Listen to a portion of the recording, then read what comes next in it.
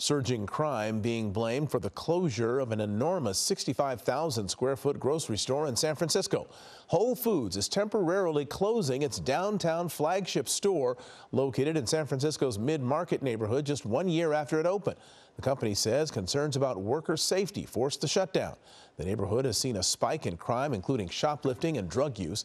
A local lawmaker says more police staffing is needed to tackle quality of life problems.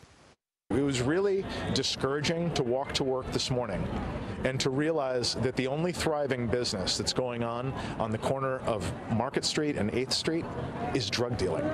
We deserve better as a city. Whole Foods says all the store's staff will be transferred to nearby locations for the time being. No word on when that store could reopen. Hello, I'm Mark Brown. Get more great ABC7 content by clicking the subscribe button for our YouTube channel and download the ABC7 Los Angeles streaming app on Fire TV, Android TV, Apple TV, and Roku to watch on your TV.